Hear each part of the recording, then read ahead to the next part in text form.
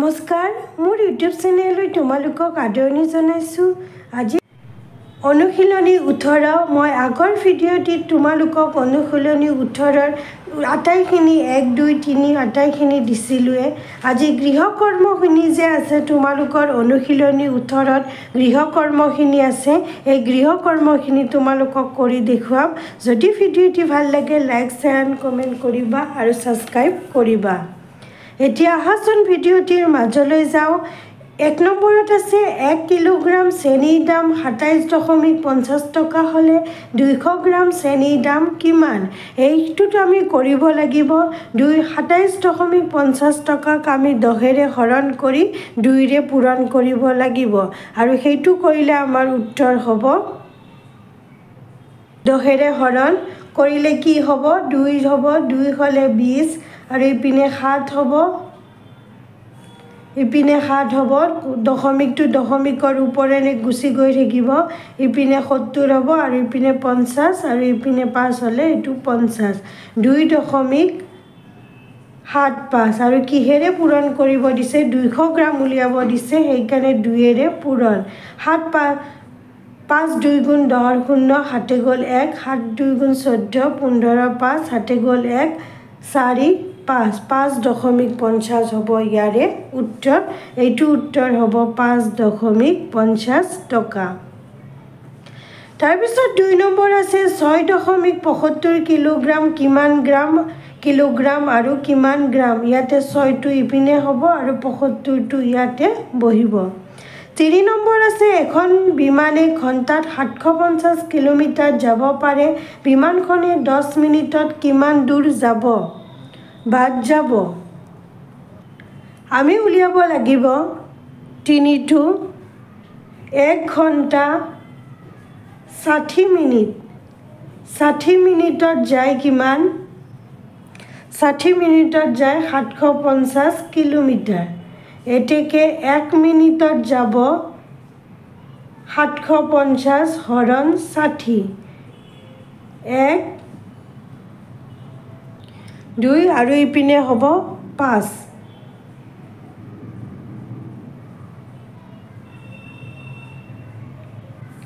আৰু আমাক দিছে সুধিছে যে বিমানখনে দহ মিনিটত কিমান যাব? এতেকে দহ মিনিটত যাব। বাৰ দশমিক পাঁচ পূৰণ দহ আৰু এইটোৱে হ'ব ইয়াৰে উত্তৰ। বাৰ পাঁচ শূন্য দশমিক এশ পঁচিছ। কিলোমিটাৰ আৰু এইটোৰ উত্তৰ হ'ব এশ পঁচিছ কিলোমিটাৰ।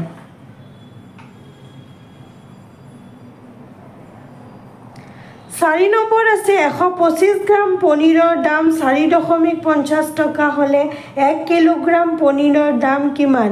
ইয়াতে দিয়া আছে চাৰি নম্বৰটোৰ কাৰণে। এশ পঁচিছ গ্ৰাম থাকিলে আমি কিহেৰে পূৰণ কৰিব দিছে আঠেৰে পূৰণ কৰিব দিছে? সেইকাৰণে চাৰি দশমিক পঞ্চাছটোক তোমালোকে আঠেৰে পূৰণ কৰিবা তেতিয়া উত্তৰটো ওলাব আৰু সেইটো হৈছে ছয়ত্ৰিছ টকা। এইবাৰ আছে পাঁচ নম্বৰ এক কিলোগ্ৰাম চাউলৰ দাম ষোল্ল টকা হ'লে সাতশ পঞ্চাছ গ্ৰাম চাউলৰ দাম কিমান হ'ব? এইটোও কৈছে যে সাতশ পঞ্চাছ উলিয়াব লাগিলে প্ৰথমতে আমি কি কৰিব লাগে? চাৰিৰে হৰণ আৰু তিনিৰে পূৰণ। আমি যদি ষোল্ল টকাটোক চাৰিৰে হৰণ কৰি দিওঁ চাৰি হৰণ ষোল্ল পূৰণ তিনি। চাৰিৰে ষোল্লক হৰণ কৰিলে হ'ব চাৰি আৰু ইপিনে হ'ব চাৰি তিনি গুণ বাৰ। সেইকাৰণে উত্তৰ হ'ব এইটো বাৰ টকা।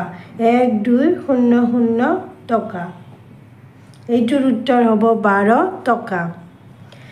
ছয় নম্বৰ আছে এখন উৰাজাহাজে ঘণ্টাত বাৰশ কিলোমিটাৰ বাট যায়। উৰাজাহাজখনে পঞ্চল্লিছ মিনিটত কিমান বাট যাব? এখন উৰাজাহাজে এখন উৰাজাহাজে ষাঠি মিনিট বা এক ঘণ্টাত যায়। সেইকাৰণে মই লিখিছোঁ ষাঠি মিনিটত যায় বাৰশ কিলোমিটাৰ এতেকে এক মিনিটত যায় বাৰশ হৰণ ষাঠি। আৰু উত্তৰ হ'ব বিছ। আৰু তাৰপিছত কি সুধিছে পঞ্চল্লিছ? পঞ্চল্লিছ মিনিটত যায় বিছ পূৰণ পঞ্চল্লিছ নশ কিলোমিটাৰ। আৰু এইটোৰ উত্তৰ হ'ব নশ কিলোমিটাৰ। সাত নম্বৰ আছে এখন চাইকেলেৰে প্ৰতি মিনিটত পঁচিছ মিটাৰকৈ বাট গ'লে এক কিলোমিটাৰ বাট যাওঁতে কিমান সময় লাগিব? এইটোৰ উত্তৰ হ'ব যে এখন চাইকেলে পঁচিছ মিটাৰকৈ যায় এক মিনিটত। সেইকাৰণে আমি এক কিলোমিটাৰ হৈছে এক হাজাৰ এক হাজাৰ মিটাৰ। সেইকাৰণে আমি এক হাজাৰক পঁচিছেৰে হৰণ কৰি দিলোঁ। পঁচিছেৰে হৰণ কৰিলে এক হাজাৰত হ'ব। এইটো চাৰি চাৰিবাৰ গ'ল। ইপিনে এশ হ'ল আৰু শূন্য চল্লিছ মিনিট। সেইকাৰণে এইটো হ'ব চল্লিছ মিনিট উত্তৰ। আঠ নম্বৰ আছে এক কিলোগ্ৰাম চেনিৰ দাম আঠাইছ টকা হ'লে তিনিশ গ্ৰাম চেনিৰ দাম কিমান হ'ব? এইটো কৰিব লাগিলে দহেৰে হৰণ আৰু তিনিৰে পূৰণ কৰিব লাগিব। আৰু পূৰণ কৰিলে হয় এইটোৰ উত্তৰ আঠ দশমিক চল্লিছ টকা। ন নম্বৰ আছে পঞ্চাছ গ্ৰাম জিৰাৰ দাম পাঁচ টকা হ'লে পাঁচশ গ্ৰাম জিৰাৰ দাম কিমান পঞ্চাছ গ্ৰাম জিৰাৰ দাম যদি পাঁচ টকা হয় পাঁচশ গ্ৰাম উলিয়াব লাগিলে আমি কিহেৰে পূৰণ কৰিব লাগিব দহেৰে পূৰণ কৰিব লাগিব আৰু দহেৰে পূৰণ কৰিলে হ'ব এইটো পঞ্চাছ টকা মই কাষত লিখি দিছোঁ দহেৰে পূৰণ দহ নম্বৰ এক কুইণ্টেল চাউলৰ দাম সাতশ পাঁচ টকা হ'লে দুই কিলোগ্ৰাম চাউলৰ দাম কিমান? এইটোক আমি প্ৰথমতে এশৰে হৰণ কৰিব লাগিব তাৰপিছত দুইৰে পূৰণ কৰিব লাগিব। সাতশ পাঁচক আমি এশৰে হৰণ কৰিব লাগিব সাতশ পাঁচ দশমিক শূন্য শূন্যক আমি এশৰে হৰণ কৰিব লাগিব তাৰপিছত দুই আছে দুইৰে পূৰণ। সাতশ পাঁচক হৰণ কৰিলে সাতশ আৰু ইপিনে পাঁচ দশমিক আহিব শূন্য আহিব এটা তাৰপিছত পাঁচ আহিব পাঁচশ। এইটো হ'ব ইয়াক দুইৰে পূৰণ কৰিলে হ'ব শূন্য এক আৰু এইপিনে হ'ব চৈধ্য আৰু দশমিকটো ইয়াতে চৈধ্য চৈধ্য দশমিক দহ টকা হ'ব। এঘাৰ নম্বৰ আছে এখন খিৰিকীৰ পৰ্দাৰ বাবে এক দশমিক পঁচিছ মিটাৰ কাপোৰ লগে পাঁচ মিটাৰ কাপোৰেৰে কেইখন খিৰিকী পৰ্দা হ'ব। এইটোৰে এইটোক হৰণ কৰিলে উত্তৰ ওলাব। এক দশমিক পঁচিছক আমি পাঁচশটো চেণ্টিমিটাৰ কৰি ল'লে পাঁচশ মিটাৰ কৰি ল'লে আমি এইটো তোমালোকৰ ওলাব। চাৰি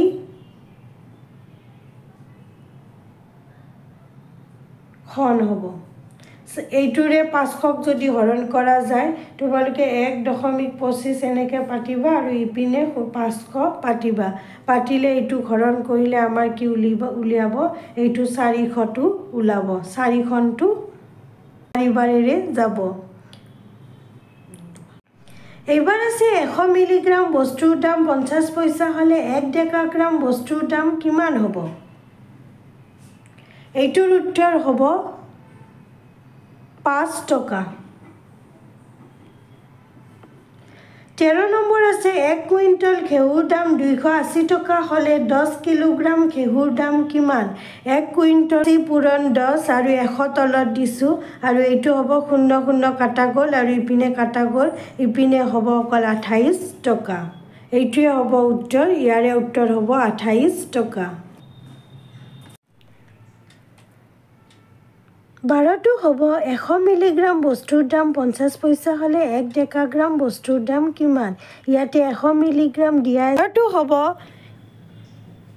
পাঁচ টকা উত্তৰ কিয়নো এশ মিলিগ্ৰামত আছে পঞ্চাছ পইচা সেইতেকে এক মিলিগ্ৰামত হ'ব দশমিক শূন্য পাঁচ পইচা আৰু ইপিনে দহ হাজাৰ মিলিগ্ৰামে হ'ব এক ডেকাগ্ৰাম সেইকাৰণে হ'ব দহ হাজাৰ পূৰণ দশমিক শূন্য পাঁচ পূৰণ কৰি দিয়া তেতিয়াহ'লে পাঁচ পঞ্চাছ হাজাৰ হ'ব আৰু তাৰপিছত পাঁচশ পইচা হ'ব দশমিকটো আনিলে সেইকাৰণে এইটো উত্তৰ হ'ব পাঁচ টকা।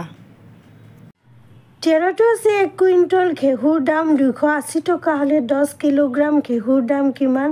দুশ আশী আমি এশৰে হৰণ কৰি দহেৰে পূৰণ কৰিব লাগিব। শূন্য শূন্য দুটা শূন্য কটা গ'ল হ'ব আঠাইছ টকা। সেইকাৰণে উত্তৰ হ'ব আঠাইছ টকা। চৈধ্য এক গ্ৰাম বস্তুৰ দাম দশমিক পঞ্চাছ টকা হ'লে এক কিলোগ্ৰামৰ দাম উলিওৱা। এইটো হ'ব পাঁচশ টকা কিয়নো এক এক কিলোগ্ৰামৰ কাৰণে এক হাজাৰ গ্ৰাম লাগিব। এক হাজাৰেৰে পূৰণ কৰিলে হ'ব পাঁচশ টকা।